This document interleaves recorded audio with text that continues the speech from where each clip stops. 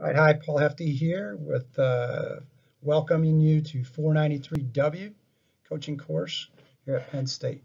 We're going to do a quick overview, look at the structure, some uh, class assignments, and some expectations, and then give you a simple task here at the end. All right, as I mentioned, my name is Paul Hefty. I'm the instructor for the uh, 493 online course.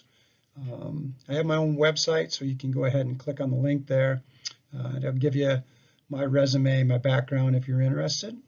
Um, and the other thing is there's some resources that you can use for the course with the website to do uh, coaching consulting work uh, through the university as well.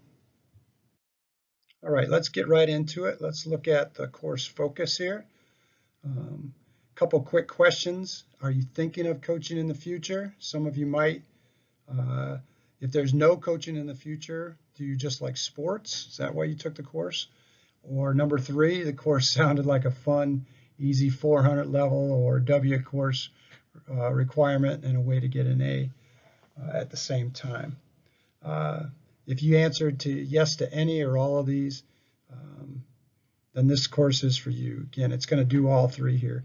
We want to think of it as a way to help you develop your ethics, your values, some principles, your management and leadership skills and styles here. So as you graduate from Penn State and go out into the world, whatever career you do, hopefully you become a leader in some fashion. And hopefully the course here will help you develop a solid foundation of philosophy for that. So class objectives, again, the first purpose is just to introduce you to the art and the science of coaching.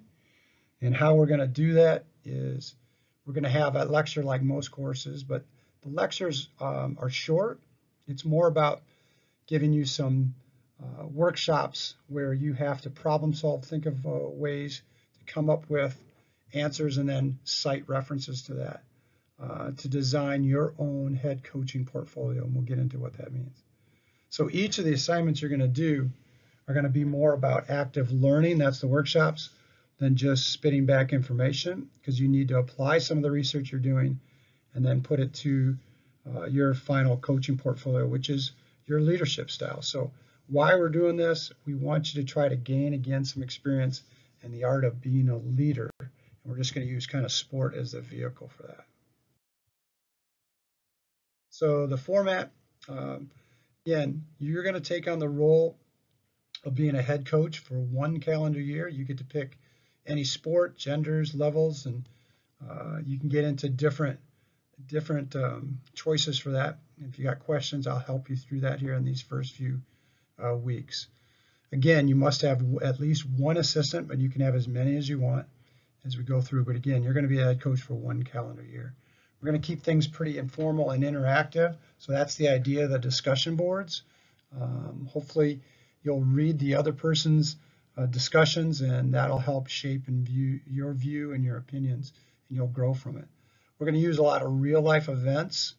Um, that's going to help you uh, learn from their other experiences um, since you don't have a lot yourself. It's a, just a powerful way to learn. Uh, we're going to use multiple resources.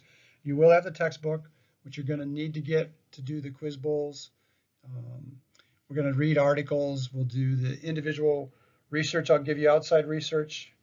Workshops, again, like I said, discussions. Lectures will be short, but uh, it'd be important.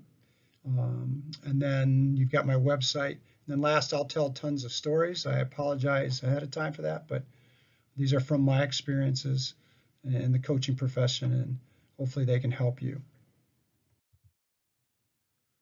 So the reason we're doing the course this way is uh, there's just a simple uh, thing to look at how you retain information.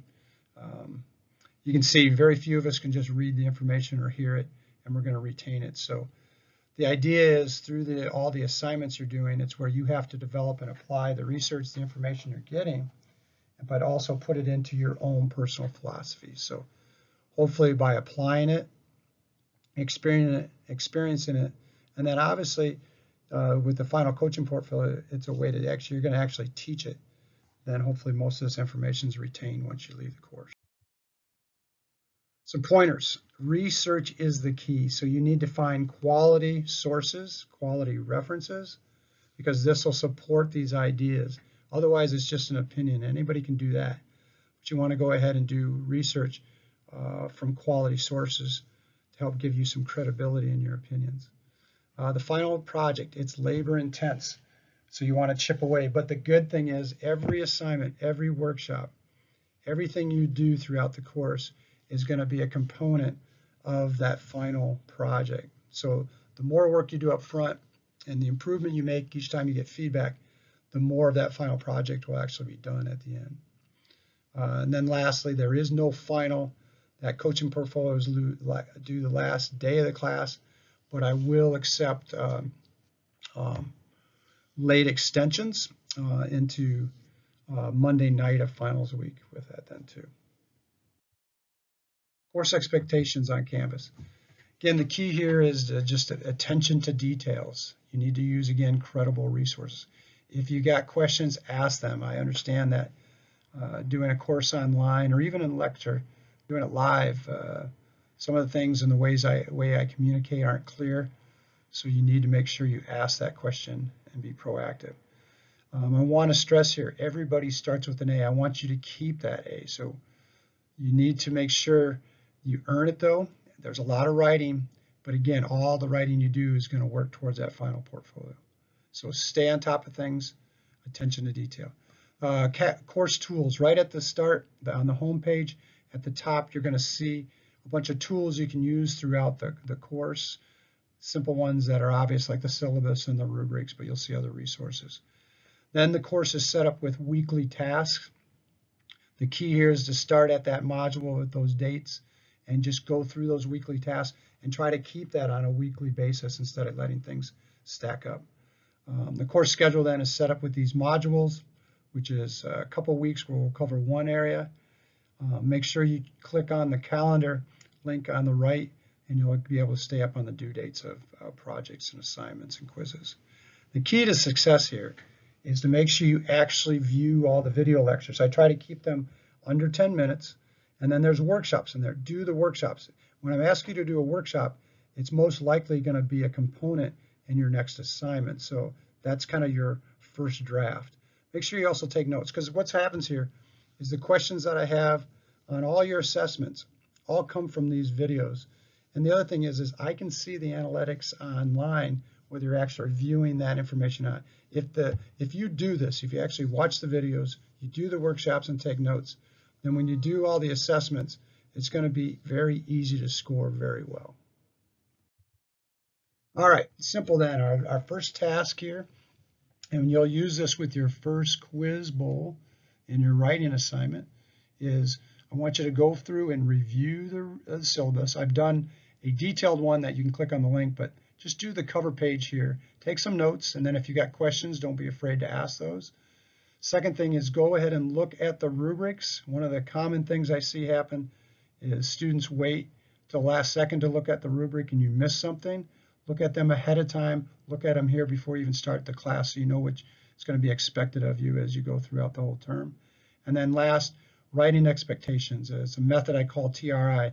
You've got to know this. You've got to understand this because this is how I'll use my assessment of your writing um, and to keep things consistent throughout the whole course.